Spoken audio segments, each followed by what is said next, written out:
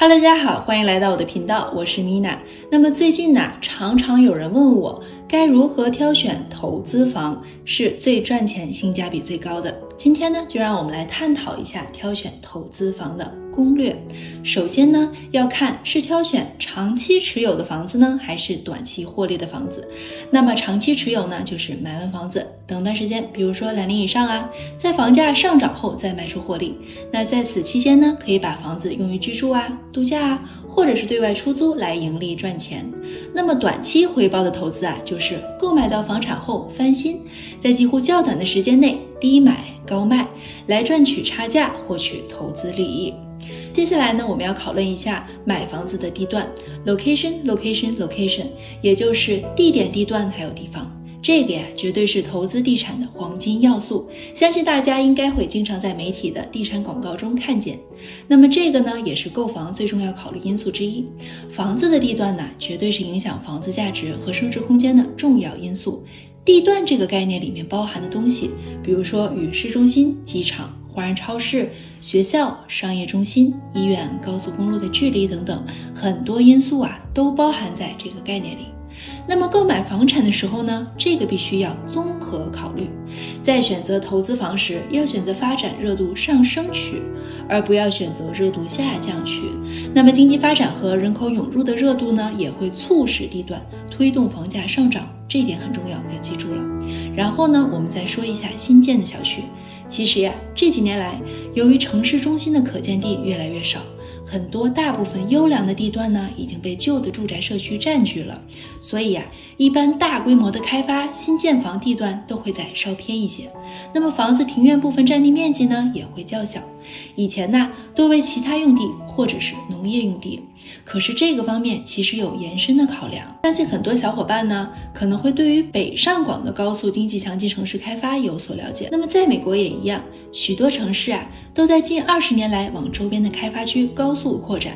许多开发区呢，新小区现在甚至已经发展成了配套设施齐全，甚至更好的新兴城市。那么洛杉矶呀，尤其是大洛杉矶地区，近几年来城市呢，也是飞速的向东。向东南拓展，华人的中心城市呢也是一样的。从多年前的洛杉矶 downtown 唐人街，到后来的蒙市、阿市和盛市，再到后来的哈冈、罗兰冈、钻石冈，到近几年迅速崛起的华人新兴中心东至奇诺、奇诺冈、东谷、科罗纳。东南至 Yuba Linda、尔湾、塔斯汀、森林湖，还有三环 Capistrano 等等。接下来呢，我们再考量一下学区。那么学区啊，是大家购房时需要考虑的重要因素。房子所在的学区对于房子的升值是极其重要的。那么美国的公众教育系统呢，对于学区有严格的划分机制。那么对于公立学校系统，区民的子女从小学、初中到高中，都只能在房屋居住所在区的学校就读。所以啊，学区如何，由于学校的资金和师资力量的差异，学区好不好，那么对于子女未来的发展很重要，对于房子升值空间也很有影响。然后呢，就是对于接下来我们要探讨的房子未来的租售难易度好不好卖，跟学区好不好也是有重要关联的。那么一般情况下呀，新房的学区是走两级，要么就是特别的好。要么就是特别的烂，特别好的呢，是因为城市建设小区是新的，学校也是新的，所以新建学校所在的新兴城市会收取城市建设税，然后呢，这个税有很多部分会去到城市的校区学区建设项目，因此啊，这一类的城市这些地方学区就会很好，所以啊，学区必须在决定投资房时作为重量的重要的考量因素。接下来呢，我们要考虑一下投资房的资金占用。贷款安排和租售难易度，那么利用好近期的房贷利率的超低优惠，还要利用财务杠杆，用最少的投资来撬动投资房，创造被动收入。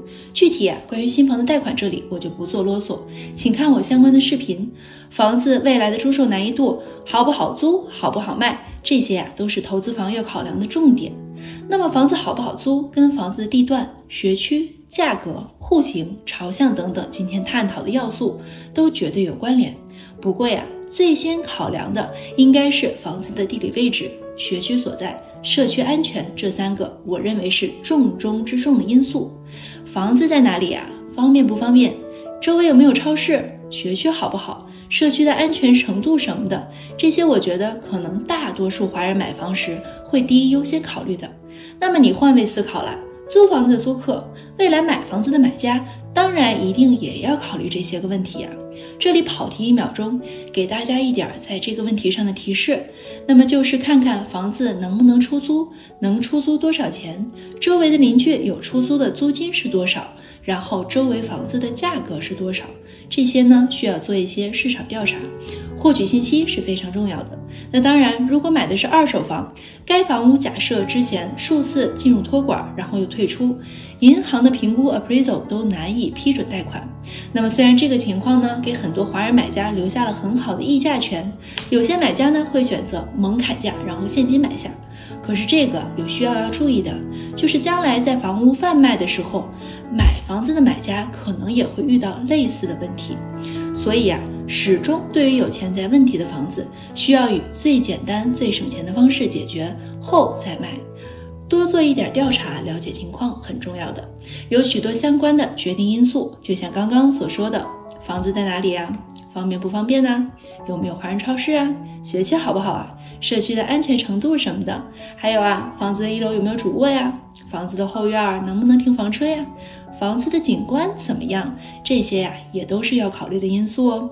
还有房子的朝向，靠不靠近通勤设施？房子的社区所在设施如何？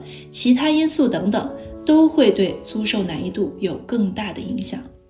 那再讲一下房产类型户型，以尔湾为例子啊，户型为公寓 （apartment） 和 condo townhouse 联排别墅，有遥控进入的大门和门卫，有游泳池设施的公寓中。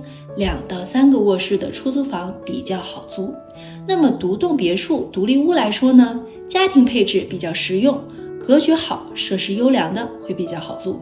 毕竟呀，独立屋占据着加州房地产市场租赁的大头。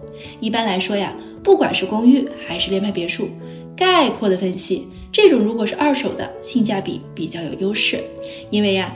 这种通常以出租收益为主的投资，性价比和现金占用是比较重要的考虑。那么购买投资房时，单尺每平方英尺均价和当地近期均价售价都是衡量标准。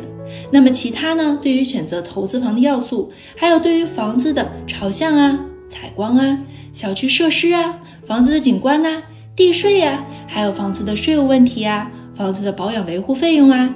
建商品牌呀，风格类型啊，还有房子外观设施、房屋的状况，还有建筑用材、房间的质量等等，都是有考究的。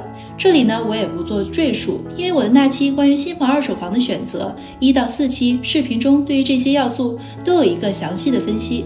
有兴趣的小伙伴呢，可以点击片尾的链接进行观看。好了，那么今天的视频呢就到这里。我是 Mina，一名住在美国加州的地产经纪和注册会计师。如果你喜欢我的视频，记得给我点个赞、订阅、转发加评论哦。YouTube 的小伙伴记得点亮小铃铛。那我们就下期视频再见了，拜拜。